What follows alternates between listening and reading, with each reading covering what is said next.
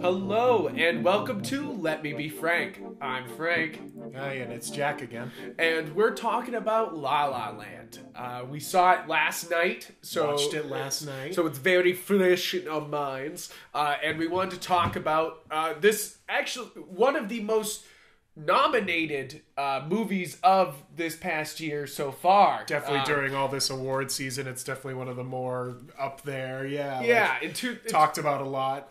in 2016 movies, this is definitely like for for movies that are going to win uh, awards. I'm not saying Oscars. I'm saying it won Golden Globes. It it already won a bunch of other stuff. Uh, At this point, yeah. yeah. at this point, um, it's this and Manchester by the Sea that seem to be competing for so, for the yeah. front uh, as being like the most serious films of the year moving forward.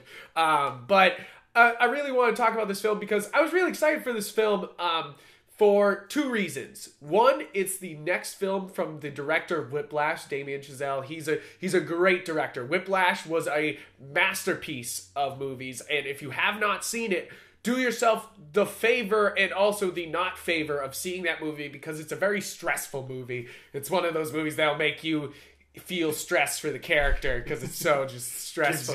and. J.K. Simmons is fantastic in it. But like coming off of a masterpiece uh, that's so personal to himself uh, because he did a short film of Whiplash and then he did the feature film. So like this is his first branching out into uh, whatever he wants to do, and I think it. I think it shows in this is that it's kind of like he's got the budget now and he's got the the actors that he wants and he can really just like slam forward with a with a really cool film. I think this film overall is just a is is a really cool film. But before I get into review, two things. So yes, Damien Chazelle for Whiplash, and two, uh, Ryan Gosling and Emma Stone being gorgeous. The, Uh, the actors. movie. I mean, yeah, like the. I think of great acting choices, yeah, beautiful people being beautiful. great casting. It couldn't have been better. I No. can't think of two people who would have done a better job. I mean, sure, it could have been someone else, but it, these two pull it out for this film. Exactly. And they and what's amazing about this film is how much the actors did themselves. In a musical, you kind of expect in this day and age a lot of helping, a lot of uh, somebody singing for them instead, or you know, like somebody doing the dancing for them instead. No, apparently it's all them. It's par- apparently for majority of this film, it is all them. Um, the uh, they were saying Emma Stone sang all of her stuff, and of course Ryan Gosling did too. Ryan Gosling learned all the piano pieces for this, and if you watch this film, it's a lot.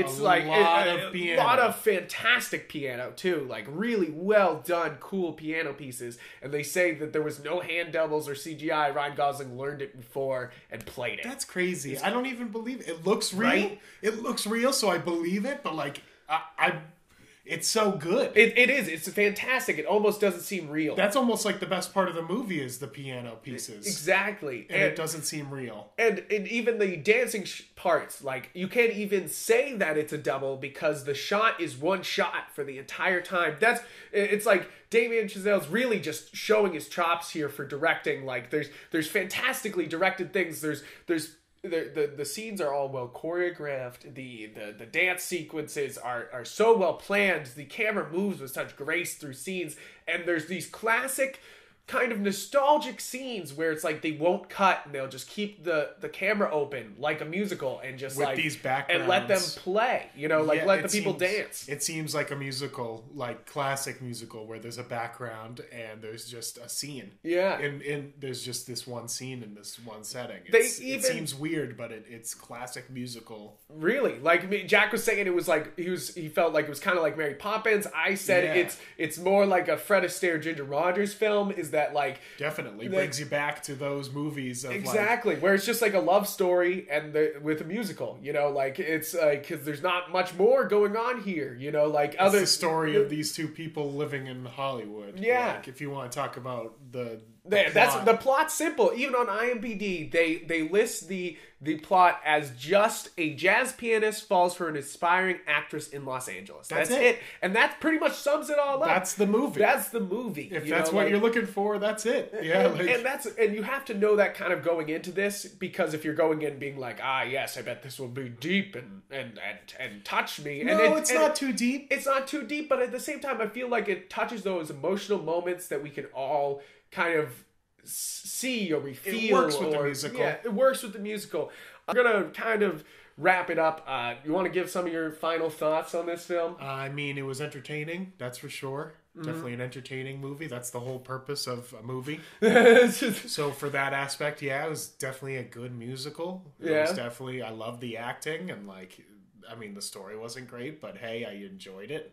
Exactly. I mean, I would I would give it high praise for what Uh, it is. exactly. I, I give it for actually being getting awards. I'm like proud of it Yeah, because like it, could have been missed out on. Exactly, and the and the directing, I think alone deserves some of that, some of the awards. You know, like the the some of those scenes are so well, they just move. You know, like the actors move in and out, the the sets move, the the the, the scenes blend. It all just it sings. You know, that's a stupid way to say it in a musical, No, but it but all it it, all just sings. You know, like Yeah, it and I think flows. that's kind of my little sum of it is that like it all works, uh, even though parts of it aren't the best. You know, Yeah. like it's there's the whole thing sings, d- but does it when uh, you know does it is it a perfect 10 no. No. that's not what i'm saying i'm gonna have to give this one a 9 um You'll or, it a nine. That's- like that's high. that- that's very high because i i think that this is an exceptional director damien uh chazelle he did fantastic with, with whiplash and i would almost give whiplash like a 9.5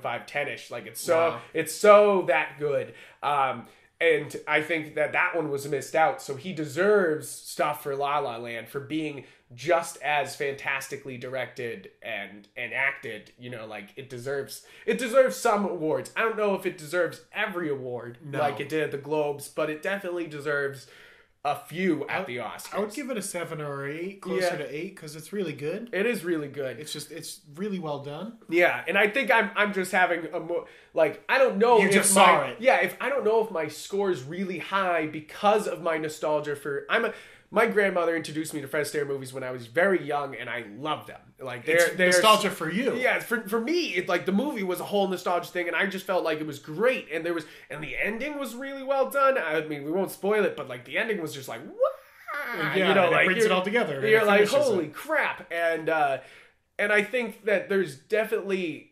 I, I- I don't think it's a perfect film, and like some days I'll maybe bring it down to an 8.5. But for me right now, with that nostalgia factor, with the great acting and the great directing, I think it's got to be a 9 for me. And I think it's got to be one of the better films of 2016. Definitely Um, deserves the awards definitely, coming out. definitely worth seeing, guys. If you are a musical fan at all, or you're a fan of Ryan Gosling or Emma Stone, do yourself a favor and see it. Do yourself a favor.